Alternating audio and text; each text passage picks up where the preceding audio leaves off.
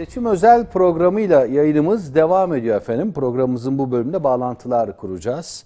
Ee, seçime özel e, bir yayın yapacağız. Önce Ankara'ya uzanacağız. Ankara'da arkadaşımız Hasret Kaya'nın yanında e, milletvekili adayları da olacak. Ben bu noktada sözü Hasret'e bırakıyorum. Hasret.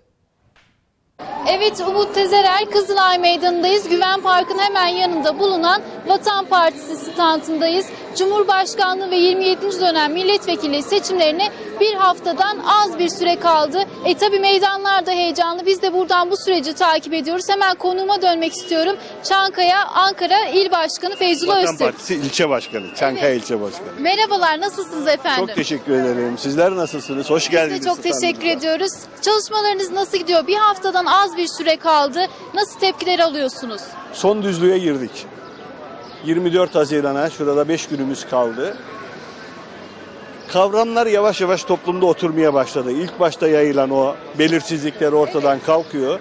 Bu hafta çok daha olumlu tepkiler alıyoruz halkımızdan. İnsanlar birbirine hakaret eden, bağırıp çağıran değil. Türkiye'nin sorunlarına gerçek çözümler öneren liderler ve partiler arıyor. Bu hafta bunu daha net bir şekilde gözükmeye başladı. Çok olumlu tepkiler alıyoruz yurttaşlarımızdan. Hemen şu ayrıntıları alayım sizden. Ee, başkentin kaç noktasında çalışıyorsunuz? Çok az bir süre kaldı. 11, 11 noktada çalışıyoruz şu 11 an. noktada çalışıyorsunuz. Peki neden Doğu Perinçek demeliler? Buradan sizleri izleyenler için bir kez daha bir çağrı yapacak mısınız Tabii siz? ki. Bir kere Türkiye bir ulusal bağımsızlık ve ekonomik varoluş mücadelesi veriyor. Türkiye'nin bağımsızlığını düşünen, önce vatan diyen herkesin adalet arıyorsa vatanın bütünlüğünü sağlamak zorunda olduğu bilinciyle Doğu Perinçek demeli. Türkiye bir borç sarmalı, üretimsizlik sarmalı içerisinde ekonomik kriz yavaş yavaş bütün acısını hissettiriyor emekçilerimize. Evet. bolluk, refah ve gönenç içinde yaşamak istiyorsa kitleler, üretim ekonomisini savunan, hakça bölüşümü savunan Doğu Perinçek'in liderliğine evet demeli, Vatan Partisi'ne oy vermelidir. Çok teşekkür ediyoruz teşekkür efendim. ederiz. Sağ olun. Ee, evet efendim hemen şunu hatırlatalım. Hem e, partiler çalışıyor hem de e, Vatan Partisi'nin genç kadrosu listesindeki, milletvekili listesindeki genç kadrosu çalışıyor. Hemen onlardan birine dönmek istiyorum. Milletvekili adaylarından biri Özgür Bursalı. Hoş geldiniz Hoş bulduk. efendim. Siz de hoş geldiniz. Nasılsınız? Teşekkürler. Sizler de iyisiniz. Çok teşekkür ediyoruz. Evet efendim sizi dinleyelim. Hem sahada çalışıyorsunuz hem parti genel merkezinde burada kurulan standlar da var elbette. Neler söyleyeceksiniz? Nasıl gidiyor çalışmalarınız? Ee, tabii artık seçimin en sıcak e, haftasına girmiş bulunuyoruz. e, son hafta.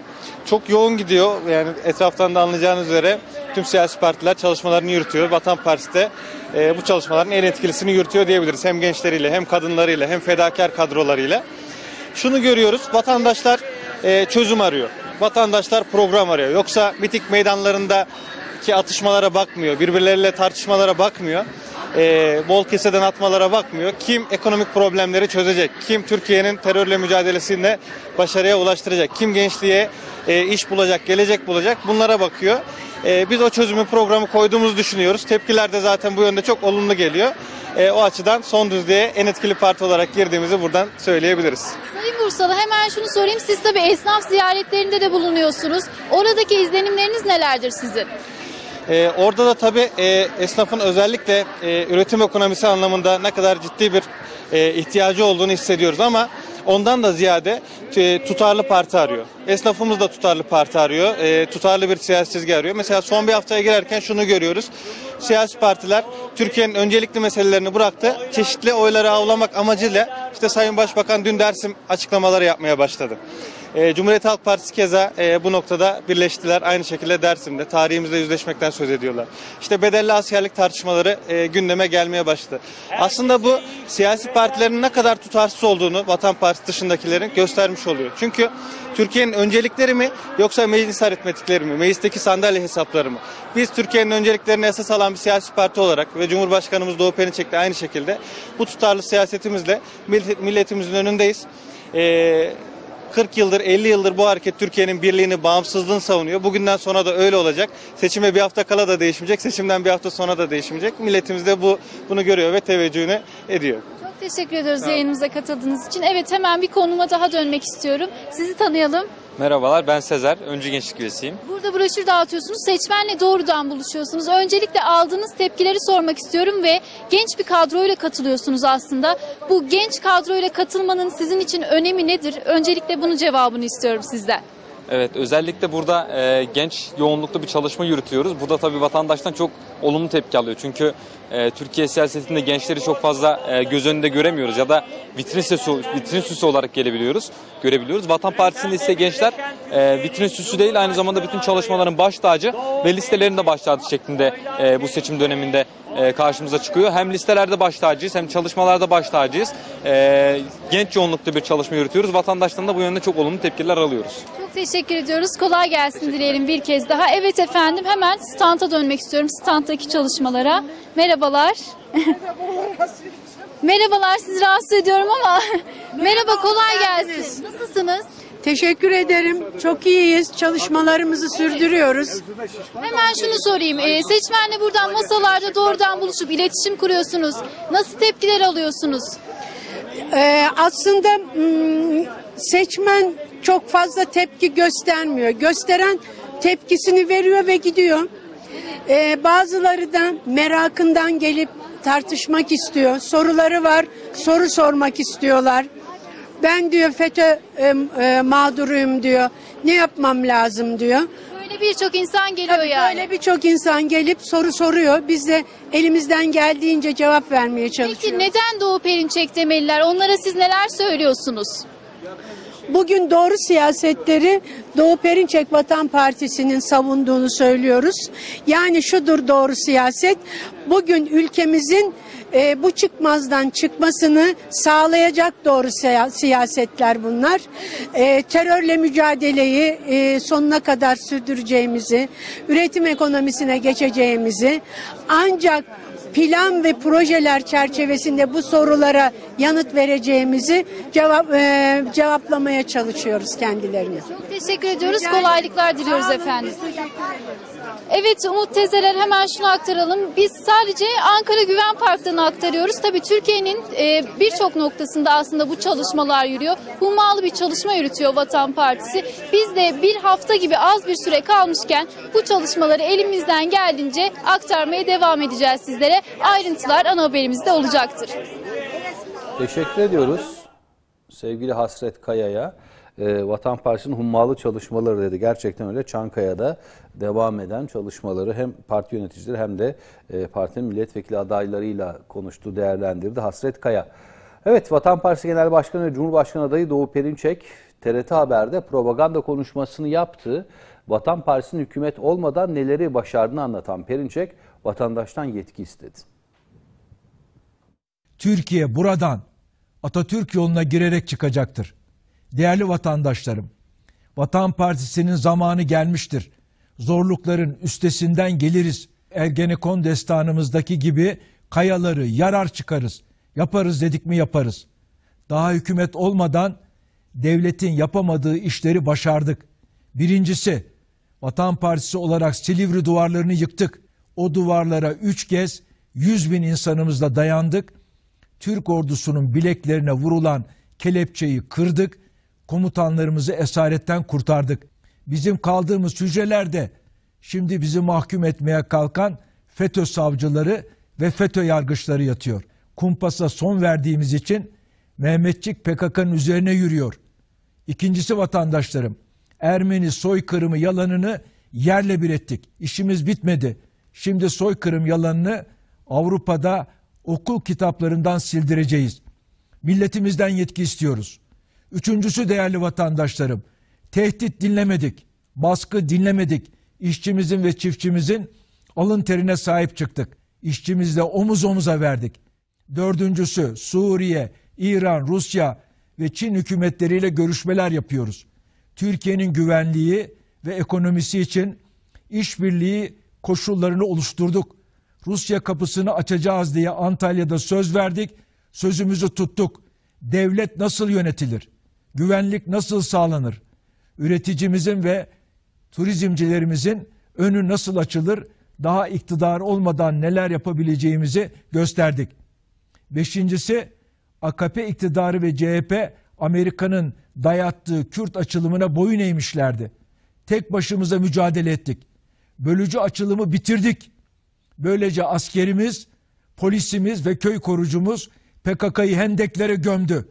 Fırat Kalkanı ile Amerikan-İsrail koridorunu yardı ve en son Afrin'e girdi. İlan ediyoruz. Irak, İran ve Suriye ile işbirliği yaparak PKK'ya 3 ay içinde beyaz bayrak çektireceğiz. Altıncısı 15 Temmuz gecesi iktidarın bocaladığı ve muhalefetin saklandığı koşullarda televizyonlara çıktık ve Türk ordusunu göreve çağırdık. O gece dengeleri değiştirdik. Vatan Partisi'nin kararlı ve cesur tutumu FETÖ darbesinin bastırılmasında belirleyici olmuştur. Yedincisi Atatürk gençliği yetiştirdik. Meclisi gençleştireceğiz. Hükümeti gençleştireceğiz. Türkiye'mizi Mustafa Kemal gençliğiyle çağdaş uygarlığa ulaştırmak için sizlerden yetki istiyoruz. Kimsenin cesaret edemediği işleri başardık. Daha devlet olmadan ancak devletin yapacağı işleri yaptık. Evet, Sayın Perinçey'in TRT'de yaptığı e, propaganda konuşması böyleydi. Arkama yansıyan bir görüntü var. Benzer görüntüler şu anda özellikle internet sitelerinde, ajanslarda paylaşılıyor. Türk Silahlı Kuvvetleri'ne bağlı bir askeri konvoyun Münbiç'e girdiği yönünde bilgiler geliyor. Bir son dakika gelişmesi olarak yansıyor. Elimize ulaşan ilk bilgileri biz de paylaşalım. Görüntüler eşliğinde Suriye'de yerel kaynaklar Türk askerinin Membiç'in dış mahallelerine girdiğini e, bildirdi. Amerika ile Membiç konusunda yapılan anlaşmadan sonra Türk askerinin bölgede konuşlanmaya başladığı öğrenildi e, deniyor. Suriye'deki yerel kaynaklar Amerika ile yapılan uzlaşı çerçevesinde Membiç'in dış mahallelerine girildiğini belirtti. Evet, e, Amerika ile yapılan anlaşma gereği, yol haritası gereği terör örgütü PYD'nin Membiç'ten çekilmesi öngörülüyordu. E, Türk konvoyunun, Türk askeri birliğinin bir konvoyun Membiç'e girdiği yönünde ilk gelen elimize ulaşan bilgiler böyle. Görüntülerde ekranlarınıza yansıyor. O konvoyun Münbiç'e girişine ilişkin e, fotoğraflar eşliğinde. Evet, bir son dakika gelişmesi olarak biz de duyurmuş olalım. Vatan Partisi İzmir Milletvekili adayı Cem Dikmen, partisi adına yaptığı propaganda konuşmasında Türk milleti seçeneksizliğe mahkum değildir dedi. Dikmen, Vatan Partisi'nin çözümlerini sıraladı, Türk milletinden yetki istedi. Vatan Partisi bu zor şartlarda ve olağanüstü koşullarda vitrine süs olması için değil, Türkiye'yi yönetmesi için seçimlere gençlerle girmektedir. Gençler Türkiye'nin hemen her seçim bölgesinden liste başlarında görev almaktadır. Değerli yurttaşlar, Türk milleti seçeneksizliğe mahkum değildir. 16 yıllık iktidarları süresince toplumu kutuplaştıran, ekonomiyi dışa bağımlı hale getiren, terörün yeniden palazlanmasına zemin hazırlayan AKP iktidarına mahkum değilsiniz. Yine tek vaatleri bu iktidarın karşısında yer almak olan yetersiz ve programsız muhalefetlere de mahkum değilsiniz. Üçüncü bir yol, üçüncü bir seçenek mevcuttur. O seçenek karşılaştığı bütün zorluklarda partisini ya da kendisini değil, en başa Türkiye'nin ve Türk milletinin çıkarını koyan Doğu Perinçek ve Vatan Partisi'dir. Türk milletinin bu dar boğazdan, ekonomik depremlerden, siyasi krizlerden ve terörden kurtuluş seçeneği hazırdır. İşte Vatan Partisi olarak siz değerli vatandaşlarımıza bu çözümü sunuyoruz. Birinci sözümüz üretim ekonomisini kuracağız. İkinci sözümüz terörün kökünü kazıyacağız. Üçüncü sözümüz komşularla barışı sağlayacağız. Dördüncü sözümüz gençliğe gelecek sunacağız. Fethullahçı terör örgütünün Ergenekon balyoz kumpaslarını yıkan, Türk ordusunun şerefli komutanlarını zindanlardan çıkartan parti Vatan Partisi'dir. 15 Temmuz Amerikancı FETÖ'cü darbe girişimi karşısında en hızlı tavrı alan Türk ordusuna ve Türk milletine güven veren parti Vatan Partisi'dir.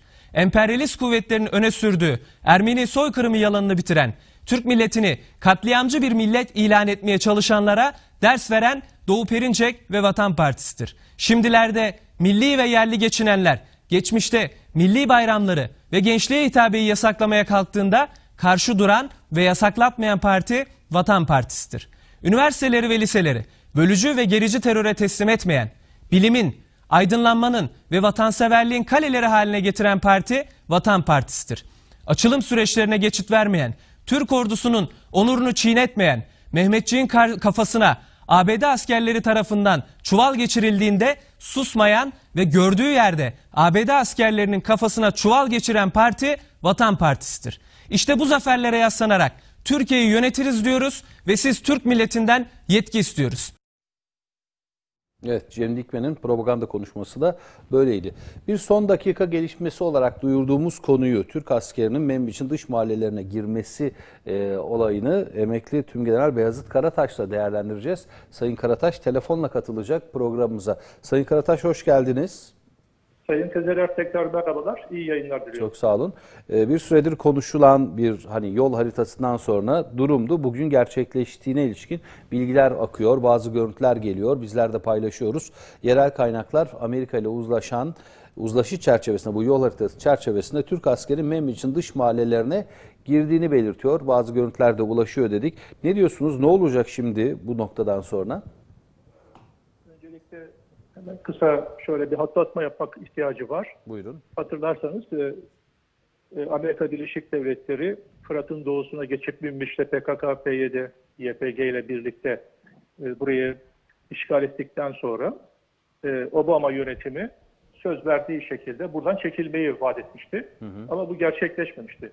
Daha sonra Türkiye e, hem Fırat Kalkanı'ndaki başarısı ve Aklı Harekatı'ndaki başarısıyla birlikte e, bütün açıklamalar sıra Menbiç'te ve Fırat'ın doğusunda olarak e, gündeme getirildi. E, Bu arada e, çok önemli bir gelişme oldu. Türk kamuoyu, Türk Silahlı Kuvvetleri'nin yapmış olduğu hem Fırat Kalkanı Harekatı'nı hem de Afrin Harekatı'nı neredeyse yüzde yüze yakın bir şekilde destekledi. Çok küçük bir yüzde, yani bunu yüzde iki olarak söylemekte de fayda var. Şu anda bizi dinleyen izleyicilerimiz, e, izleyen izleyicilerimiz e, mutlaka bunu bilsinler. Bu ilk destek elbette iyi değerlendiriliyor Amerika Birleşik Devletleri tarafından da. Öyle veya böyle bir şekilde verdikleri sözün arkasında durma ihtiyacı var mı? Amerika Birleşik Devletleri arkasında durma. Fakat bir parçası olduğunu, yani Amerika Birleşik Devletleri'nin nihai hedefinin Fırat'ın doğusu olduğunu bütün değerlendirmeciler başta e, ben de daha önce yapmış olduğum tüm açıklamalarımda bunu dikkati e, dikkati çekmiştim. Yani Evet. burası bir pazarlık konusu olacaktı Amerika Birleşik Devletleri için. Türkiye ile beraber bir uzlaşı içerisinde burayı teslim edeceklerdi. Daha önce vermiş oldukları sözleri de yerine getirmiş olacaklardı. Ama sonuç olarak Fırat'ın doğusu onları nihai hedef olarak değerlendirmiştik. Şimdi e, Amerikan ve Türk Dışişleri Bakanlarının e, görüşmesi sonucunda bir yol haritası ortaya konduğu söylendi. Bunun yaklaşık iki aylık bir süreci kapsayacağı belirtildi ki şu anda e, görüntülere baktığımız zaman e, Menbiş'teki Türk askerlerinin varlığı bu iki aylık süreç sürecin e, içinde bu e, Menbiç'teki e, işbirliğinin gerçekleşeceği gözüküyor. Şimdi e, bazı sıkıntılar var benim şahsi görüşüme göre. Onu da e, paylaşma ihtiyacı hissediyorum. Şimdi burada Amerika Birleşik Devletleri ile ve e, Suriye Demokratik Güçleriyle veya her kimse yerel güçlerle işbirliği yapılacak. Tabii Türkiye'nin kırmızı çizgileri var. PKK-PYD ile veya Suriye Demokratik Güçlerinin büyük çoğunluğunu oluşturan PKK ve PYD ile diyelim herhangi bir işbirliği yapması söz konusu değil. Zaten bu e, Türk kamuoyu tarafından da uygun karşılanmayacaktır. Böyle bir hassasiyet var. Yani burada e, Amerika Birleşik Devletleri ile beraber Türkiye ve yerel kaynaklar. Bunların kim olduğunu söylüyorlar. E, buranın e, gerçek sahipleri olan e, Türk ve Araplardan oluşan insanların tekrar buraya gelip yerleşip veya göç etmişlerse gelip yerleşip aynı zamanda burada bulunan insanlarla beraber e, buradaki güvenliği sağlamak ve tekrar günlük hayata dönüşü sağlamak açısından bir görüş var. Bu hassasiyeti ben tekrar paylaşmak istiyorum. Yani Suriye Demokratik Güçleri adı altında veya yerel güçler adı altında Amerika Birleşik Devletleri'nin öyle veya böyle bir şekilde PKK'ya başka bir kılıf uydurarak karşımıza çıkarması konusunda da dikkatli olmamız gerektiği hususunu ben bir kere daha atlatmış oluyorum. Peki, Şimdi- ha, Buyurun, buyurun, buyurun, buyurun. lütfen. Şunu da merak ettim de onu sorayım. İsterseniz devam edin. Ee, yani bir konvoy deniyor. Ne kadarlık bir güçle oradayız, olacağız ya da e, bu yol haritasına göre sizce? Şimdi o sahadaki o sahadaki güvenliği sağlamak e, açısından e, şu andaki görüntülere göre e, fotoğrafa göre konuşmak gerekirse önce öncelikle e, oradan başlayayım. Bu bir öncü kuvvet. Yani bu öncü kuvvet e, başlangıçta hedeflenmiş olan nokta neresiyse oraya doğru hareket halinde. Şu andaki fotoğrafta da zaten gördüğümüz gibi e, konaklamış ve e, bir sonraki aşamaya doğru seyahat edecek şekilde, güvenli seyahat edecek şekilde de bazı koordinelerin yapıldığını görüyorum. E, şimdi tek başına eğer Türkiye böyle bir yerde kontrolü sağlamış olsaydı çok farklı bir güce ihtiyaç olacaktı. Ama Amerika Birleşik Devletleri'nin kısıtlı diyelim çok fazla gücü yok aslında burada. E, bir gücüyle beraber e, ne kadar güce ihtiyacı var? E, Türkiye'nin e, bu sorunuzun cevabına şöyle cevap vereyim ben. Hem Elbap Harekat yani Fırat Kalkanı Harekatı'nda Elbap'a kadar olan süreçte ve de Afrin Harekatı'nda hatırlarsanız ihtiyaç olduğunda da kuvvet aktaracak şekilde bir planlama yapmıştı. Ben şimdi rakamları ne kadar söylesem yanlış olur. Öyle bir bilgi bende yok. Ama başlangıçta konuşulan kuvvet neyse Amerika Birleşik Devletleri ile ki hesaplanmıştır, planlanmıştır. O kuvvet şu anda intikal halindedir. Eğer ihtiyaç olursa zaten bizim sınırımız mutlaka takviye yapılacaktır.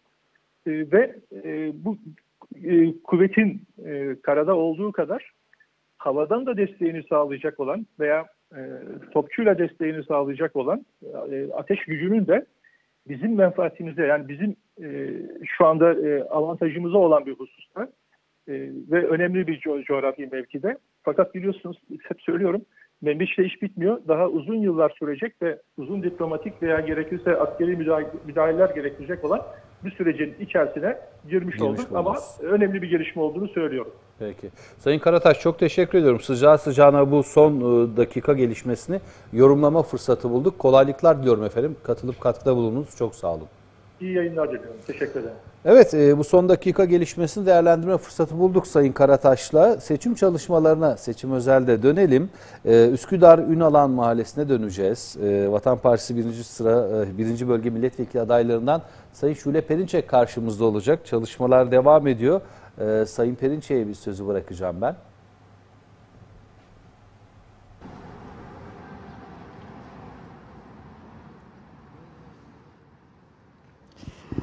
Efendim e, Ünalan Mahallesi'nde İstanbul'da Ünalan Mahallesi'ndeyiz.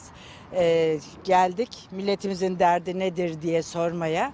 Ünalan Mahallesi'nin çok değerli muhtarı Mezengül Şimşek'le birlikteyiz. Ama ilk önce siz bizi duymayın. Biz sizin seçmenlerinizle ilgili e, seçmenlerinizden muhtarımızla ilgili biraz bilgi alalım. Nasıl bir muhtar? Muhtarımız 10 numara bir kaliteli, organik, bilinçli, halka hitap edişi farklı. Çok memnunuz Memnunsunuz. ve inşallah da ileriye dönük her zaman görmek istiyoruz. Arkasından konuşuyoruz şimdi değil mi? Arkasından Muhtarımızın. da daima bir silah gibi yandayım. Hadi Arkasında bakalım. gizli Öyle. silah gibi. Şimdi derdimiz var dedik. Ee, sizin de zaten elinizde e, bir e, e, çizim var. E, bize bu konuda bi- biraz bilgi verebilir misiniz? Ama ilk önce bir kaç kişilik e, bir Mahalle semt, değil. mahalleniz. Mahalle deyince mahalle deyip geçmeyelim Mahalle diye değil. soruyorum. E, mahalle değil Ünalan, Üsküdar'a bağlı bir mahalleyiz. E, 26 bine yakın seçmeni var. 80 bine yakın nüfusu var bana göre, hesaplamama göre. Çünkü 16.400 küs- küsür hane e, 2016'da vergi ödeyen, emlak vergisi ödeyen e, kişiden bahsediyoruz. E, onu 2 ile çarpsanız 32 yapar. 2, 4 en az hatta 5 diyebilirim e, hane say, e, kişi sayısı. E, böyle büyük bir mahallenin e, Üsküdar'ın da en uç mahallesi aynı zamanda ulaşım sorunu var. Halledemediğimiz müzmin bir ulaşım sorunu var. Onun ötesinde e, gerçekten etrafı Ulaşım sorunu dediniz. E, otobüs yani seferleri otobüs yok seferlerimiz yok. İşte ek seferler e, olması gerekiyor. O yok. Metro durağımız var ama mahallenin her alanı metroya ulaşma konusunda yani e, aynı e, şansa sahip değil. Bir de aktarmalı gitmesi gerekiyor. Vatandaşın bir araçla e, Üsküdar'a ulaşması gerekiyor. Belediyemizin bu konuda çalışmaları var ama yeterli değil. Bizim sorunumuzu çözme konusunda belediyemizin daha sıkı sarılması gerekiyor. Büyükşehir'in de bu konuya biraz bizi sahiplenen bir bakışta olması gerekiyor gerçekten. Evet gerçi biz E, hani Ankara'ya gideceğiz sanki Üsküdar'a gitmeyeceğiz gibi gözüküyor ama Ve Olsun, siz bizi sahipleneceksiniz. millet- milletin vekili olduğumuz için Evet. Ankara'ya gittiğimizde çözmemiz gereken Evet. sorunları biz defterimize şimdiden yazıyoruz. Hani bazıları ce- cebimizde bu reçeteyle geliyoruz diyor. Başka bir yerden gelen reçeteler. Biz Ünalan Mahallesi'nin reçetesi nedir? Sorunları nedir? Evet. Çözüm önerilerimiz Böyle nedir? vekillere Gideceğiz, ihtiyacımız gideceğiz var. belediyeye, İnşallah Üsküdar seçiler. Belediyesi'ne ya da Kadıköy Belediyesi'ne neyse. Aa, böyle bir sorunumuz var bunu çözelim diyeceğiz. Evet. Çünkü bize bu görevi nereden devraldık? Atatürk'ten devraldık. Öyle tanımlandık. Milletin vekili. Evet şimdi gelelim bu. Ee, Ee, ay, ş- otobüs sorununun dışında, ulaşım sorununun dışında Yani başka Müzmin mı? değişik sorunlarımız var ama e, şu an gerçekten acilen çözülmesi gereken ya da e, halledilmesi gereken e, sorunların en başında yeşil alanla ilgili benim sorunum geliyor. Mahallemin sorunu geliyor. E, etrafımız e, ana Burası yollarla yeşil alan çevrili. dediğiniz yer? Evet burası yeşil alan dı. Dı. E, şu Gibi an dı gözüküyor. diyebilirim. Hı. Çünkü e, sağ solu e, yani çalışmalar başlatıldı. E, burası parktı. E, sonra bir işletmeye vermişler. Onlar işletiyordu ama park olarak yine devam ediyordu. E, park olmaktan son anda çıkarttılar. E, başka bir imara açtılar daha doğrusu. İşte bulunduğumuz alanı e, sosyal kültürel tesis alanına çevirdiler. Yukarıda İktaş'ın alanını işte e, konut artı ticaret alanına çevirdiler. E, özel e, ilk öğretim alanına tahsis ettikleri mahallenin yeşil alanı var. Böyle bir durum var. E, pazar alanımızı yarıma indirdiler. Orayı e, yeşil alan yok olduğu için oraya taşıdılar. Yani küçük bir park olarak orada e, yeşil alanımız olacak. Ama bizim yeşil alanımız burası gerçekten. E5 burada ne vardı e, eskiden? Yani burada, bir şeyler burada neler çünkü. vardı? Şöyle söyleyeyim halı sahalar vardı. Çocuklarımız spor yapıyordu. Burada büyük bir e, çocuk parkı vardı. Üstünde her tür e, oyuncağın yani çocukların eğlendiği oyuncağın olduğu. Aynı zamanda yüzme havuzu vardı. İşletmeci e, onları işletiyordu. Mahalleye hitap ediyordu. İşte e, ücretli hizmet veriyordu ama bizim için önemli olan mahallenin e, hizmet aldığı yeşil alandı. Çünkü yürüme alanları vardı amfiteyatr vardı. Orada e, kafe vardı. Mesela vatandaş geldiğinde orada oturup sohbet edip işte çay ikramını alabiliyordu. Yani her tür etkinliğin yapılabildiği güzel bir e, düzenleme içindeydi. Sonra yavaş yavaş orayı at, burayı atıl hale getirmek istedikleri için e, işte üç kapısı vardı ikisini kapattırdılar. E, bir kapıdan işlemeye başladık. Yani şu an geldiğimiz son durum burası imara açıldı. Peki e, Sayın Ahmet Uçar'a bir vatandaşımıza dönelim. Tamam. Vatandaşımıza Buyurun. soralım. Buyurun. Ünalan Mahallesi'nde oturuyorsunuz Evet. değil mi? Evet, Ee, burada havuz varmış işte e, e, Doğrudur. futbol alanları. İki tane e, halı saha vardı Halı burada. Yetişkinler de oynuyordu. Küçük çocuklar da çok güzel e, Peki verimliydi. belki de daha iyi bir şey yapacaklardır. Yani muhtarımız da hemen böyle Sanmıyorum. dö- dönürse. Sanırım daha rant, döner. rant döndü. Burada sanmıyorum geri dönüş yapacağını, öyle halka açılacağını. Birileri burayı götürecek. götürecek diyorsun. Öyle Sosyal- mi Sayın Muhtarım? Sosyal kü- yapacaklar? Belki kültürel de- tesis alanının e, açılımı şu. E, kütüphane, yurt yani e, o tür yerlere hitap eden bir yapı olacak burada. Yani öngörülen şey o. Bizim itiraz ettiğimiz alan da burası zaten. E, aynı zamanda 99 depreminde vatandaş buraya gelip e, deprem toplanma alanı olarak valilik o zaman burayı e, göstermişti ve deprem e, bekleniyor. İstanbul'da Burası büyük mecburi alanlar Evet, o zaman. İstanbul'da Mecburi büyük alan. bir deprem beklenirken deprem toplanma alanlarının böyle tek tek yok edilmesi ya da imara açılması da çok sağlıklı bir düşünce içinde açıklanamaz yani. Bizim e, itirazımız bu noktada. Geçen sene biz e, bu şey ranta e, uygun olan düzenleme e, itiraz ettik. Reddedildi itirazımız. İşte e, Nereye itiraz ettiniz? Biz şu kültürel tesis alanına, bizim e, parkımızın bulunduğu alana komple itiraz ettik. E, burayı işte plan bütünlüğü gerekçe gösterilerek itirazımız reddedildi. Biz de itirazımızı reddeden e, meclis kararının iptaline yönelik 17 Ağustos depreminin e, seneye devriyesinde e, bir basın açıklamasıyla zaten dava açmıştık. Basın açıklamasıyla da halkı ve medyayı bilgilendirmek istedik. O süreçten beri de davamız devam ediyor. Bir süreç e, itirazımız reddedildi. Sonra biz tekrar itiraza gittik. Tekrar Ahmet kardeşim e, dava açtı. Burası çünkü park olarak kalmak zorunda. Gerçekten mahallenin tek tek yeşil alanı. Yani e, siteler yapılıyor. Her sitenin kendi içinde düzenlemesi oluyor. Hani e, buralar ge- kentsel dönüşümde yenilenecek ama e, onun içinde kendi e, bünyesinde yaptığı binaya ait yeşil alan olacak. Halkın ortak kullanım alanına ait olmayacak çünkü. Hani belediye başkanımız o şekilde bir cevapla bizi hani e, şey bilgilendirdiği için ben de e, ona dayanarak söylüyorum. Yani e, buna herkesin sahip çıkmasını çok arz ediyorum. Bir vekil olarak sizin de adaylığınız söz konusu. Bu konuda e, Ulusal Kanal'ın desteğine de ayrıca teşekkür ediyorum. Daha önce de e, avukat arkadaşımızla Halil Nebiler programında bizi ağırlamıştı gazeteci arkadaşımız. Teşekkür ediyorum. E, bizi ziyaret etmiş olmanızdan ayrıca gurur duyuyorum. E, böyle sorunlara sahip çıkmanızı e, cani gönülden arzu ediyorum. O e, niteliği görüyorum. Şu duyarlılığınız bana ayrıca e, mutluluk verdi. E, yani bizim Çocuklarımız burada yaşıyorlar. Evet. Ee, Neden olmasın? Burada Bir büyüyecekler. Özgürlük Parkı gibi bir Evet, yürüyüş, e, koşu yolu, insanlar ko- koşusunu Daha yapsın, otursun güzelleştireceğini. bir çam dibine, eşini, dostunu, çocuklarını getirsin, otursun, bir kahvaltı yapsın. Biz böyle bir şey istiyoruz. Ama buna da herkesin duyarlı olması lazım. Herkes görmezden geliyor. mahalle olup halkı gidecek. ne diyor? E, görmezden geliyor. Bana dokunmasınlar, bin yıl yaşasın. Herkes öyle maalesef kocaman güzelim İçinden içinden bağırıyor. Burada kimse Ne duymuyor. olur ne olmaz. İçinden diyor. bağırıyor. Doğru. Herkes korku halinde. Aman ben duymayayım, ben e, öne çıkmayayım. Ama birileri taşın altına elini koyacak. Peki itiraz ne durumda şimdi? Ee, İtirazımız e, henüz daha e, şey yapmadı, ceva- Yanıtlanmadı. yani yanıtlanmadı. Muhtemelen o da reddedilecek o gibi. itirazı nereye yapmıştınız?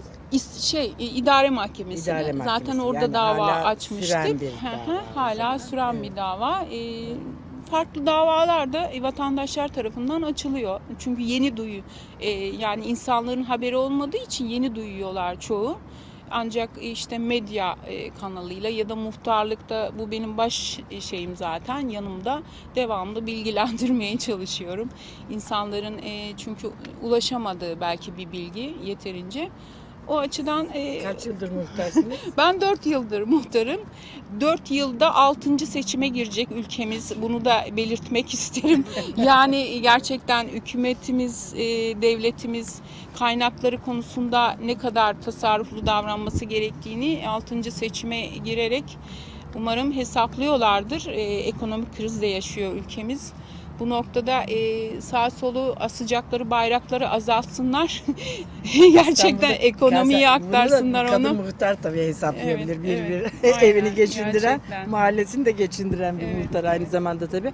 Kaç tane kadın muhtarımız var İstanbul'da? Ee, İstanbul'da 90 küsür e, 918 ya da o civarda bir e, muhtar potansiyelimiz var. 98 %10'a falan ancak tekabül ediyor. Belediye başkanı. Ee, belediye başkanı Handan Toprak var. Bahçeli Evler, Bahçeli Evler, Avcılar. Avcılar, Avcılar. Belediye Başkanı pardon. Onun haricinde Anadolu yakasında yok galiba ee, yanlış bilmiyorsam. Üsküdar'da 8 tane kadın muhtarız onu söyleyeyim hemen. ee, inşallah önümüzdeki Yavaş yerel, yavaş Üsküdar yerel seçimlerde doğru daha gidelim. çok e, kadın muhtar olmasını çok arzu ederim. Bunu neden söylediğimi hemen ifade edeyim.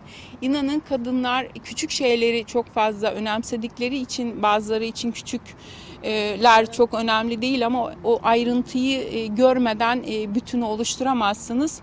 Ayrıntıyı görmek bizim işimiz. E, O ayrıntıyla güzellikler ortaya çıkıyor ve e, küçük hesapları üst üste koyduğunuz büyük hesapları kurtarıyor. Mahalle içinde aynısı, ev içinde aynısı. Gerçekten e, ülkemizi yönetecek olan potansiyeldeki e, kadınların da bu nitelikte olmasını çok arzu ederim. Erkeklerimiz inşallah bu nitelikte olanlar seçilir. Temennim o yönde. Evet. Ee, İlker Bey'den de bizim birinci sıra adayımız. Ee, İlker Bey'den de bir söz alalım. Ee, bu- buraya ilişkin. Ee, artık sorun hepimizin sorunu. Bütün Ulusal Kanal izleyicilerinin, Aydınlık Gazetesi'nin hepimizin sorunu haline geldi. Sadece bu mahallenin sorunu değil. Kasım ayındaki hem davayı takip edeceğiz. Muhtarımızı önceden biraz bilgi almıştık. Sorunun takipçisi olacağız. Ee, Ankara'dan sorunun gündeme gelmesi için elimizden geleni yapacağız. Sizin bu örnek e, çalışmanızı da bütün Türkiye'yi duyurmaya çalışacağız. Elinize emeğinize sağlık. Yani Tabii. siz iki türlü söz veriyorsunuz tabii değil mi? Hem basın olarak hem de Ankara'dan idare olarak. evet evet ikisini beraber. Evet e, Ankara'ya giderken ilk işlerimizden biri belli oldu. Bir defterimiz var. Onunla birlikte gideceğiz. Başında da programın söylediğim gibi ilk 23 Nisan 1920'de ilk alınan kararla adımız değişmiş. Mepusluktan, nazırlıktan milletvekilliği adı anılmış, konulmuş. Özellikle milletin vekili olmak üzere Ankara'ya çıkarken aldığımız ilk işlerden biri bu oldu. Size çok teşekkür ediyoruz. Bize bu güzel görevi verdiğiniz için hakikaten bunu e, e, elimizden geldiğince hem basın olarak ikimiz de hem gazetecilik açısından hem de e, ve sadece değil tabii bütün milletvekili adaylarım da burada zaten hep beraberiz. Sözünü verdik, imzayı attık. Geri dönüşü yok. Öyle değil mi İlker Bey? evet, hep beraber beraber Ankara'da olduğumuzda kürsüye çıkıp bu sesi buradan bağırıyoruz, bağırıyoruz sesi duymuyorlar. Gidip Ankara'dan kulaklarının dibinden bağıracağız. Sesimizi oradan duyuracağız Ahmet Bey. İnşallah. Soyadınız Uçar. Evet. Uçar gibi gidelim mi Ankara'ya? Hadi. inşallah. Yolumuz Hadi açık bakalım. olsun. Yolumuz açık olsun. Yolumuz açık olsun. Sağ olun. Teşekkür ederiz. Evet. Seçim özel programında İstanbul'da Üsküdar'da Ünalan Mahallesi'ne uzandık. Vatan Partisi milletvekili adayları Şule Perinçek ve İlker Yücel'in e, birinci bölge milletvekili adayları Üsküdar Mahallesi muhtarı ve mahalle sakinleriyle yaptığı söyleşiyi seçim çalışmalarını ekranlarınıza getirdik. Bir son dakika gelişmesi olarak ekranlarınıza yansımıştı. Türk askeri Membiç'e giriyor şeklinde. Bazı yeni gelen bilgiler var. Onları da paylaşmak istiyorum. E, yerel kaynaklar Amerika ile yapılan anlaşma çerçevesinde Türk askerinin Membiç'in dış mahallelerine girdiğini aktardı. Türk konvoyuna Amerika helikopterlerinin eşlik ettiği de gelen bilgiler arasında bir ortak görevdi bu. Amerika ile Türkiye arasında üzerine mutabakat sağlanan Membiç haritası çerçevesinde Türk askerinin Membiç'in dış mahallelerine girdiği belirtildi. Yine elimize ulaşan e, yeni görüntüler eşliğinde aktarıyoruz bu bilgileri. E, öte yandan Türk askerinin Membiç'in dış mahallelerine girdiğini gösteren e, ilk görüntüler de geldi. O görüntüler de ekranlarınıza geliyor. Dışişleri Bakanı Mevlüt Çavuşoğlu'nun 4 Haziran'daki Washington ziyareti sırasında e, YPG'lilerin Suriye'yi Membiç'ten çekilmesini öngören Membiç yol haritası üzerine bir mutabakat e, sağlanmıştı. Geçen hafta yine Türk Silahlı Kuvvetleri'nden bir açıklama yapılmış ve Türkiye ile Amerika'nın askeri yetkililerinin 12-13 Haziran tarihlerinde Almanya'da toplanarak Membiç yol haritası ve uygulama planı konusunda mutabakat sağladıkları belirtilmişti. Ardından da bu görüntüler, e, bu bilgi bugün ortaya çıktı. E, Türk askeri Membiç çevresinde yerel kaynaklar da e, bu bilgiyi aktarıyor. Bölgede Türk konvoyuna eş zamanlı yine Amerika helikopterlerinin de havalandığı belirtiliyor. Elimize ulaşan ilk görüntüler, e, ilk fotoğraflar ekranlarınıza yansıyor.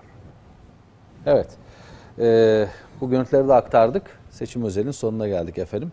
E, yarın yine saat 12.30'da tam gün ortasında karşınızda olacağız. Şimdilik hoşçakalın, sağlıcakla kalın.